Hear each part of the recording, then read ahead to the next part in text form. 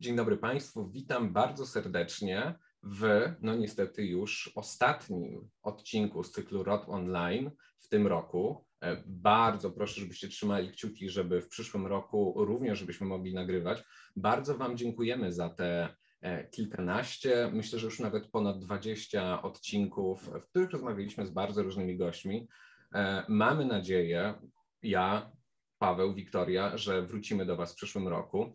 A dzisiaj, dzisiaj mamy gościa specjalnego, który po cyklu rozmów o, o grach, o kulturze, e, ostatecznie udowodni, że gry wideo mogą być świetnym pomysłem na, na życie. E, naszym gościem jest Anna Oporska-Szybisz z Warsaw Game Studios. Dzień dobry, Anno. Anno. Cześć, cześć, cześć. No dobrze.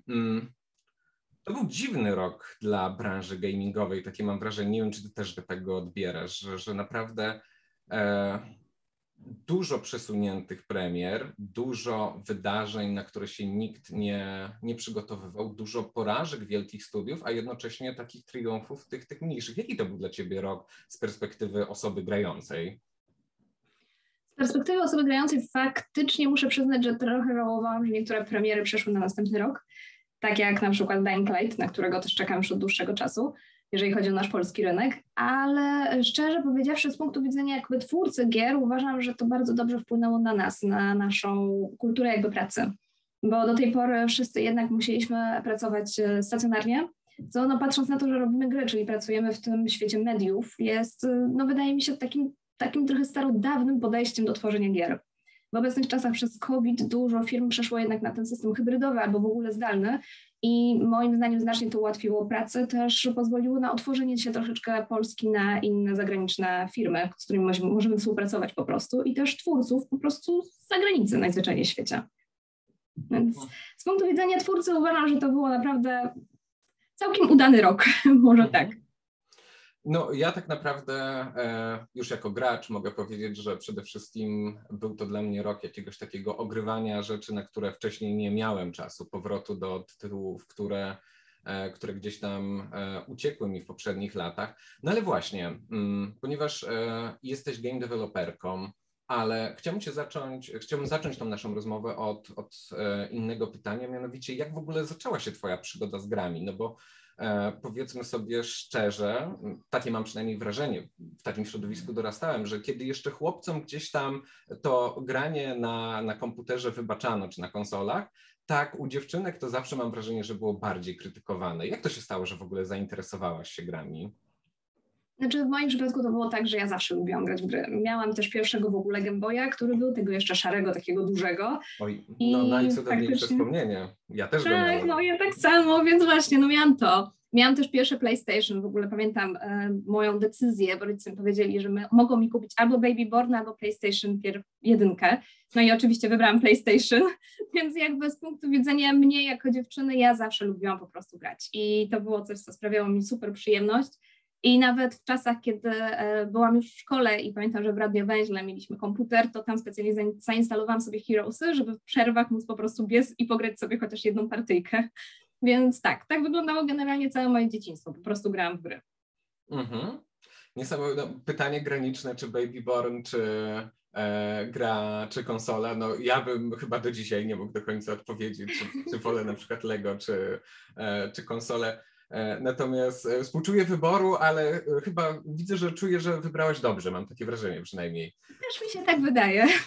A powiedz mi, czy mm, w czasach tych wcześniejszych, kiedy byłaś graczką i teraz, czy spotykałaś się z jakimiś takimi negatywnymi stereotypami właśnie na temat tego, że jesteś kobietą grającą, że, że były jakieś takie przytyki, czy to od rodziców, czy, czy od kolegów z klasy, że no właściwie dziewczyna i granie, no to nie, nie pasuje. Wydaje mi się, że ja miałam akurat to szczęście, że mnie środowisko bardzo wspierało. Wręcz miałam wrażenie, że przez to, że jestem właśnie kobietą grającą w gry, to jestem takim trochę białym krukiem mhm. dla wszystkich chłopaków, więc zawsze byłam jakby przez nich wspierana, zawsze mnie zabierali do drużyny, jak graliśmy w RPG, to też grali ze mną, więc jakby dzięki temu miałam wrażenie, że wręcz mam e, chody, tak bym to nazwała. No proszę, czyli taka bym powiedział, że e, historia zupełnie inna niż te, które gdzieś tam dominują w świecie graczy, że, że te kobiety zawsze są tam spychane na margines, czy, czy uważane jako gorsze za graczki. No, mam wrażenie, że jest jakieś takie e, ogólne, że, że za co kobiety by się nie chciały zabrać, to na początku mają tak przypisaną taką, taki stygmat bycia gorszym, a potem te, e, te stereotypy bardzo fajnie przełamują. No właśnie, no i w końcu na pewnym etapie to granie stało się dla ciebie pracą. Możesz o tym też opowiedzieć? To była dość taka dziwna sytuacja, w sumie bym powiedziała, bo ja byłam na e, psychologii klinicznej, mm, kierunku psychologia kliniczna. I to był ostatni rok moich studiów, kiedy już odbywałam też staże w szpitalach psychiatrycznych, więc jakby byłam bardzo ukierunkowana na to, co chcę robić w swoim życiu. I moja uczelnia zrobiła konkurs na e, wymyślenie po prostu scenariusza gry. I nagrodą w tym konkursie był miesięczny staż w firmie szkoleniowej, która miała właśnie na celu zrealizowanie gry szkoleniowej. I wygrałam ten konkurs. Udało mi się właśnie dostać na ten miesięczny staż. I po miesiącu po prostu pracy nad grą szkoleniową, która wymagała ode mnie wymyślenia całego gameplayu, e, zastanowienia się nad tym, jaka będzie narracja, tego, co gracz będzie robił, jakie decyzje będzie podejmował, zaplanowania wszystkiego od początku do końca i zrealizowania tego, zdałam sobie sprawę z tego, że to był najlepszy miesiąc w moim życiu. I dopiero wtedy mnie olśniło, że tak naprawdę mogę robić gry, że to, że nie wiem, nie jestem programistą, nie oznacza, że nie mogę robić gier. I wtedy też doszłam do wniosku, że warto będzie zacząć szukać w ogóle jakichś możliwości w tym kierunku. Więc zaaplikowałam do dwóch firm robiących gry, jeszcze nie mając na swoim koncie żadnej gry faktycznie wideo stworzonej. I niestety usłyszałam od nich, że po prostu na razie za mało potrafię. W związku z czym zaczęłam szukać dalej i trafiłam na moją drugą uczelnię, czyli Warszawską Szkołę, Szkołę Filmową, gdzie rozpoczęłam kierunek tworzenia gier wideo, jako drugi fakultet. I po pierwszym roku byłam już, miałam już na swoim koncie jedną grę taką faktycznie mm, komputerową, miałam jedną papierową grę stworzoną całe GDD i e, podwaliny pod hopę. No i na tej podstawie właśnie e, CA Games mnie przyjęło na staż, a potem do pracy. Mhm. Więc jednak Gdyby nie to, że poszłam na studia, myślę, że byłoby mi znacznie ciężej się odnaleźć w tym świecie, bo jednak graczką byłam, ale nie byłam twórcą gier. Dużo osób e, w tamtym czasie też modowało, czego ja nie robiłam. I wydaje mi się, że to e, ode mnie by wymagało znacznie więcej takiego wewnętrznego zaangażowania i szukania, a szkoła pozwoliła mi po prostu, jakby wskazała mi kierunek, w którym powinnam się rozwijać i gdzie mogę szukać, co mi bardzo pomogło. Więc pierwszy rok uważam, że był bardzo wartościowy dla mnie pod kątem tego, ile się nauczyłam. Mhm.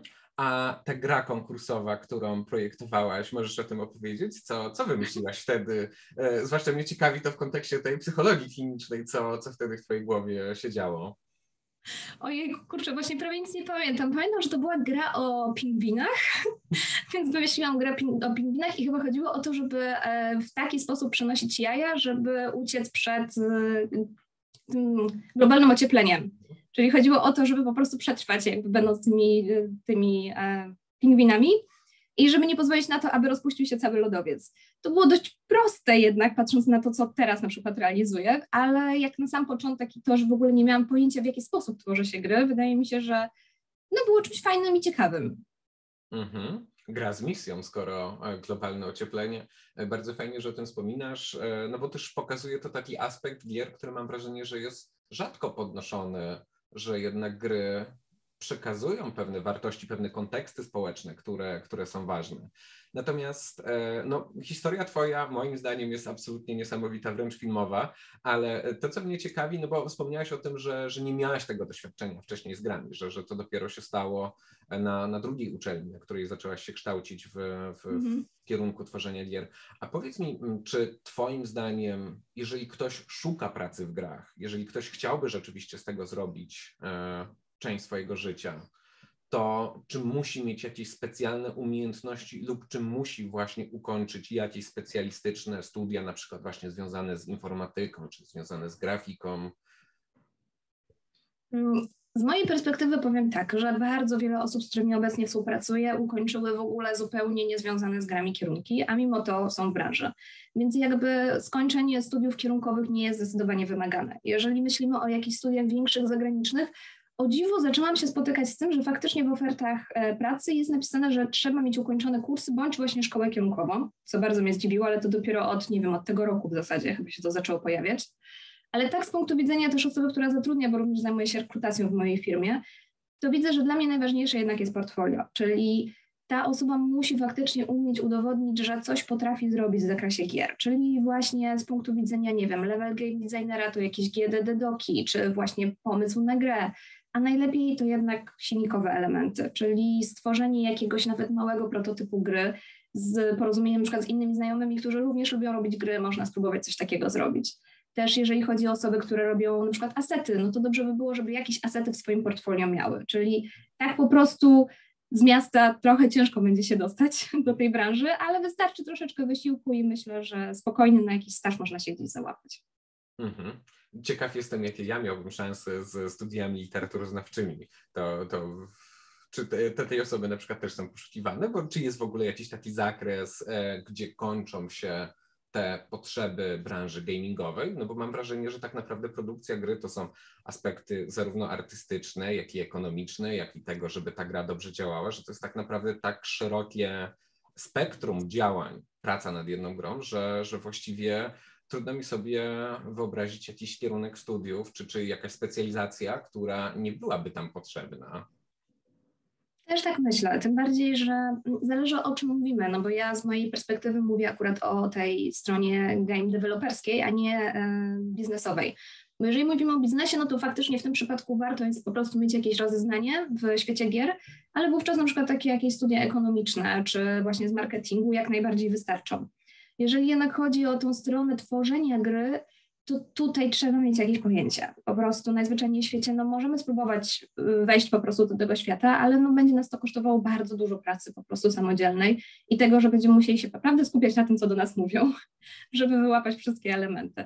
Ale na przykład po Twoich studiach zdecydowanie myślę, że jakaś narracja albo właśnie może nawet design brzmi całkiem dobrze literaturoznawcy wszystkich uczelni polskich, łączmy się i uderzajmy do games devu, jest nadzieja.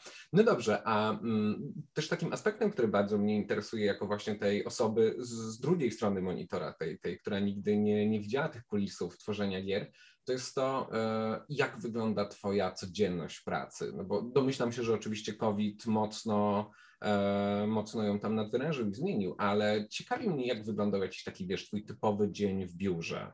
Czy można to porównać do, do pracy w jakichś innych korporacjach, czy to jest właśnie bardziej praca twórcza? Jak jest twoim zdaniem? To jest bardzo samodzielna praca przede wszystkim. Mm, o ile na przykład w innych firmach, w których pracowałam wcześniej, wyglądało to tak, że po prostu miałam konkretne taski, nad którymi siedziałam i musiałam je robić, to tutaj bardzo często taski muszę sobie znajdować sama. E, bo po prostu muszę wiedzieć o tym, jakie etapy poszczególne w grze powinny się pojawić i jak je zaimplementować. Też to, co robię i jak robię, bardzo dużo zależy od etapu produkcji, czyli od tego, czy jesteśmy na wczesnym etapie, gdzie dopiero robimy prototyp, czy na przykład robimy już etap whiteboxowania, czy przechodzimy na przykład do bety albo do golda. W zależności od tego po prostu mój dzień pracy by wyglądał trochę inaczej. Ale tak szczerze powiedziawszy, z punktu widzenia tego, czy pracuję z biura, czy pracuję zdalnie, nie ma żadnej różnicy. Mhm. Moja praca polega na tym, że przychodzę do biura, odpalam komputer albo w domu odpalam komputer, po prostu loguję się na swoje konto i mam za zadanie wykonać coś. Przykładowo, jeżeli jesteśmy na etapie whiteboxów, no to zazwyczaj jest to z punktu widzenia właśnie level designera. Jest to coś takiego, że wybieram sobie po prostu fragment mapy, nad którym chcę w tym momencie siedzieć jest to wcześniej przeze mnie zaplanowana mapa pod kątem właśnie 2D designu zazwyczaj. No i w tym momencie zaczynam z takich e, prostych obiektów, które są właśnie w na przykład Unrealu albo z obiektów, które sobie sama tworzę w zewnętrznych silnikach. Tworzę po prostu całe otoczenie, które, co jest istotne, ono musi być dość łatwe i proste, ale też zarazem przekazywać ten flow i vibe tego otoczenia, czyli zazwyczaj staram się dodawać elementy, które na przykład wyróżniają go i pokazują, jaki to ma być styl. Też skupiam się na przykład na rzeczach, że, które są istotne z punktu widzenia gameplayowego i to jest najważniejsze, czyli jeżeli na przykład będę przekazywać dany obiekt e, osobie z 3D do wykonania ostatecznego, no to muszę pamiętać, że na przykład, nie wiem, jeżeli dodaję cztery okna, te cztery okna się tam pojawią, czyli one z jakiegoś powodu tam muszą być. Jeżeli nie chcę, żeby była okna, też muszę to zaznaczyć. I to jest dość istotne, bo faktycznie muszę myśleć nad każdym takim elementem. No i moja praca polega na tym, że po prostu właśnie siedzę i przez cały dzień robię po prostu ten konkretny fragment. I tak w kółko, i tak w kółko, i tak w kółko. Na kolejnych etapach to jest troszeczkę ciekawiej, myślę, bo jest tak, że zaczynam już dostawać elementy od wszystkich innych działów, które zarequestowałam i wówczas muszę to wszystko złożyć do kupy, czyli dostaję właśnie te asety, dostaję jakieś fragmenty kodu i te wszystkie elementy muszę po prostu ze sobą zespolić, żeby one ostatecznie tworzyły całość, taką, którą gracz właśnie dostaje i w którą gra. Mhm. Zaciekawiły mnie te cztery okna. To nad jakim możesz zdradzić, nad jakim poziomem ostatnio pracowałaś? Akurat pracuję teraz nad grą The Path of Kalydra mhm. i e, mamy tam poziom, który jest e, poziomem AirPath. Ogólnie gracz będzie się poruszał w różnych ścieżkach, które są ścieżkami żywiołów. No i na tej ścieżce AirPath mam e, taki styl, który zresztą właśnie bardzo chciałam nadać, e, trochę japoński. W związku z czym z oknami jest tak, że raczej ich nie ma, mhm. a jeżeli są, no to właśnie e, są to takie okna w stylu tych właśnie przesuwnych z jakimiś dziurami, więc jeżeli właśnie chcę mieć jakieś okno, no to po prostu robię sobie obiekt, w którym te okno się znajduje ale no jak na przykład dostaję taką sytuację, czasem się zdarza i właśnie się zdarzyło w sumie dzisiaj, że dostałam e, budynek z dwoma oknami, gdzie jedno okno w moim koncepcie było e, zabite deskami. I chodziło mi o to po prostu, żeby było widać, co jest w drugim pokoju, do którego gracz ma się dostać przez to jedno okno, które jest otwarte. No ale dostałam mesz od y, artysty, który ma dwa okna otwarte, więc musiałam zarequestować zmianę tego i poproszenie o to, że albo dostać coś, co mogę po prostu, czy mogę zabić po prostu to okno, albo żeby mi po prostu przygotował mesz, który faktycznie będzie odpowiadał temu, co potrzebuję. To jest też właśnie bardzo istotne z punktu widzenia level designera, bo bardzo często jest tak, że musimy dosłownie nadzorować każdy krok. To nie jest coś takiego, że my zrobiliśmy sobie swój pomysł i na zasadzie zostawiamy go. Nie, to jest tak, że właśnie często e, level artyści nie do końca na przykład złapią, o co nam chodzi, w związku z czym musimy przejść ten level i zobaczyć, że ej, tutaj ma być otwarcie, tutaj musi być światło, które pokazuje na coś. W tym miejscu na przykład chcę mieć spinaczkę, więc nie może być za dużo elementów roślinności, bo gracz po prostu zniknie, tak? To wszystko, na to wszystko trzeba po prostu zwracać uwagę. Bardzo mi się podobają te gamingowe intrygi, to zaglądanie przez okno, ale tak sobie też pomyślałem, mm, bo mówiłaś o, o tej Japonii, o, o ścieżce, E, tak sobie myślę, że to też musi być w takim razie praca, która wymaga jednak jakiegoś takiego ogólnego wykształcenia, jakiejś takiej znajomości świata, że no nie, nie tylko część techniczna, nie tylko umiejętności, ale też ta umiejętność tworzenia jest tutaj ważna. Myślę, że tak, dlatego bardzo lubię w ogóle pracę level designera. Dla mnie to jest spełnienie się pod każdym kątem, bo i ze względu na narrację, bo muszę jednak wiedzieć, co chcę opowiedzieć, tak? Jakby otoczenie, które pokazuje, opowiada jakąś historię i muszę wiedzieć, jak chcę, żeby ona została opowiedziana i co dokładnie ma przekazać.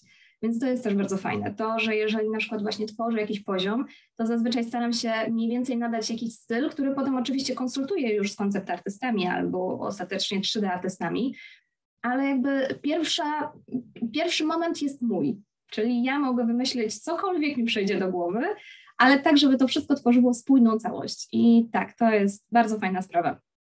Mhm. Dobrze. Mm, mam jeszcze takie pytanie, już właściwie na koniec. Intryguje mnie to, czy pracując w tej branży, gdzieś tam Twoja miłość do grania nie umarła, czy, czy po tych ośmiu godzinach, bo podejrzewam, że, że taki jest właśnie cykl Twojej pracy, że po tych 8 godzinach e, wracasz do domu i masz jeszcze nawet nie tyle siłę, co ochotę na to, żeby jakieś nowe gry poznawać, czy grać w coś nowego? Hmm, znaczy tak, e, gram mniej zdecydowanie niż grałam wcześniej. Mm, to jest moim zdaniem duży minus, bo teraz dzięki COVID-owi zaczęłam grać trochę więcej, jako że właśnie y, pozbawiło mnie to podróży jedną godzinę w jedną stronę i godzinę w drugą stronę dziennie, czyli mam dwie godziny życia ale też gram w gry, które, e, które mogą mi coś dać, może tak to nazwę. Czyli jeżeli na przykład gatunkowo zgadzają się z tym, nad czym teraz pracuję, to faktycznie będę w to grała. Jeżeli z punktu widzenia mechanicznego słyszę, że to jest bardzo dobra gra, też będę w nią grała. Nie sięgam po gry, które są po prostu modne, tylko po gry, które mają coś ciekawego do przekazania, coś innego, coś takiego, co może rozszerzyć moją wiedzę i sprawić, że po prostu będę mogła trochę inaczej tworzyć levele, lepiej, ciekawiej. Ale też jeżeli chodzi o gracza, to bardzo często łapię się na tym, że jeżeli już mi się gra naprawdę podoba i potrafię się w nią wkręcić, to często jest tak, że przestaję właśnie zwracać uwagę na wszystkie mechaniki, które ze sobą współgrają, albo na to, w jaki sposób level właśnie został skonstruowany, czy no nawet na bugi, bo niestety na to też się zwraca mocną uwagę w grze. Ale tak, jeżeli gra mi potrafi kupić, jeżeli ma faktycznie tą ściągającą historię, bo w moim przypadku uważam, że historia jest bardzo istotna, to wówczas jestem w stanie wybaczyć wiele rzeczy i zapomnieć o tym, że no trochę jestem w pracy. Mhm. Całkowicie rozumiem. No, dla mnie ta kategoria tematu też jest właściwie jedną z kluczowych. E, no właśnie, powiedziałeś, że e, gra musi poruszać ważne, ważne tematy. E, to jakie gry poruszają ważne tematy, Twoim zdaniem? Na przykład ostatnio grałam w Darka. Wiem, że to nie jest jakaś nowa gra. Jest dość grą niszową, ale dla mnie była bardzo ciekawa z punktu widzenia tego po prostu, jaki szum wokół siebie wywołała i to, jak wiele było spekulacji a propos tego, co ona mówi i o czym opowiada. I to było dla mnie właśnie bardzo fajne, bo lubię odkrywać te smaczki, lubię sama podejmować decyzje takie, co gra chciała mi przekazać właśnie, o czym chciała mi opowiedzieć. I z punktu widzenia Darka uważam, że to było bardzo fajnie przedstawione i tak, ta gra mi się zdecydowanie spodobała. Mhm. Dobrze. E, ostatnie pytanie, które mi jeszcze przyszło do głowy. E, czy ty, kiedy tworzysz gry i w ogóle, czy, czy myślisz, że w tej branży mm, ważniejszy jest ten sukces artystyczny, to o czym przed chwilą rozmawialiśmy, to żeby rzeczywiście ta gra była czymś innym niż, niż jest wiele, wiele podobnych gier, zwłaszcza w tych samych gatunkach, czy może właśnie ten sukces biznesowy, że, że tak naprawdę najważniejsze jest jednak to, czy ten projekt da się obronić, czy, czy dla ciebie któraś z tych stron jest ważniejsza i na przykład cieszysz się bardziej po tym, kiedy twoje gry zbierają świetne recenzje, czy bardziej po tym, kiedy okazuje się, że one się sprzedają tam w jakichś naprawdę e, dużych ilościach? Odkąd pracuję w Warsaw Game Studios, e, mogę właśnie realizować swoją wizję i to jest bardzo fajne. Więc tak, dla mnie najważniejsze jest to, żeby gry przekazywały jakieś informacje, żeby czegoś też uczyły, żeby mówiły o czymś więcej niż po prostu dawały sam, sam fan z grania. Tak jak właśnie zrobiliśmy B-Simulator, która jednak e, w pewnym sensie ma elementy edukacyjne, i faktycznie przybliża te informacje, to znacznie dla mnie istotniejsze było to, jak usłyszałam od jednego pszczelarza, o Jezu, ty robiłaś B-Simulator? No wszyscy pszczelarze grają B-Simulator. Więc to było dla mnie znacznie bardziej wartościowe niż to, jakie mamy liczby i ilość wyświetleń, nie wiem, trailera na przykład. Tak naprawdę właśnie to jest super, to, że nauczycielka w szkole mówi mi, że korzysta z mojej gry po to, żeby edukować dzieci i mówić im o życiu pszczół. Tak samo będzie, mam nadzieję, z The Path of Kalydra. Też mamy plan zrobić ją inaczej niż są robione gry tego typu. I mam nadzieję, że też ludzi po prostu dotknie ta gra i sprawi, że pojawi się dialog pomiędzy nimi. Mhm. No, e, bardzo mi się podobała ta odpowiedź. Też trzymam kciuki przede wszystkim za to, żeby gry były fajnymi projektami artystycznymi i że e, broniły się gdzieś tam przed tylko i wyłącznie tym biznesowym spojrzeniem, czy, czy porównywaniem gier tylko pod kątem tego, czy sprzedały się dobrze, czy źle. Bardzo Ci dziękuję za tą rozmowę. Państwu Również dziękuję. świąt i szczęśliwego nowego roku. Tak jak mówię, trzymajcie kciuki, żebyśmy spotkali się jeszcze w przyszłym roku. Moim gościem była Anna Oporska-Szybisz. Bardzo dziękuję, do usłyszenia i do zobaczenia. Dziękuję.